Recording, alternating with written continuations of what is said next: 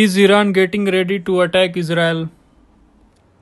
At the same time, Iranian national documents and philosophies do specifically call for the destruction of Israel.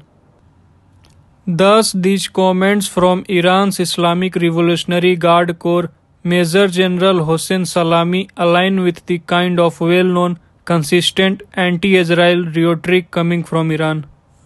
Hossein's comments were also filled with hints and suggestions that his force may have been behind a recent explosion at an Israeli plant for advanced weapons, according to a news report from Al Monitor.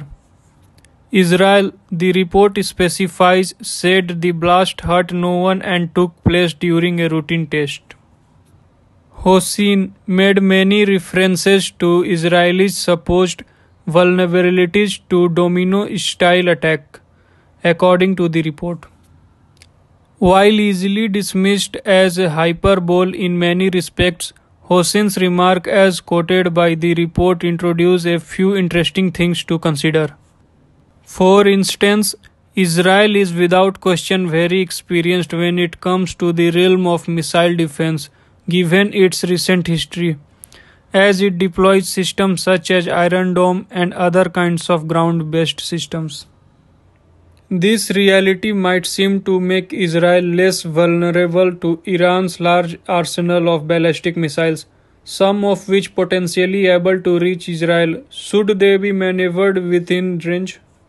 Israel is about 1000 miles from Iran, a range which is just at the outer limits of the striking distance of most long range ballistic missiles. The distance between two countries speak to another, even potentially more pressing issue, such as how Iran could actually get close enough to the Israeli border to launch an attack.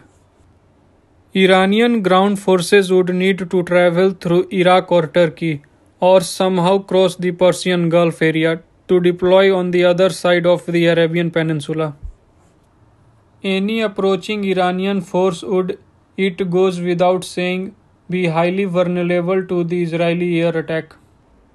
Therefore, apart from the concerning prospect of Iran at some point having nuclear weapons, there do not appear to be a wide sphere of which Iran might actually be able to attack Israel with any measure of success.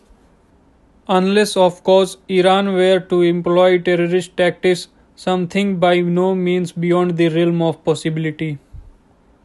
In fact, small, covert, hit and run type of terror attacks may be the kind of thing Hossein was referring to by hinting that several targeted strikes could bring down Israel.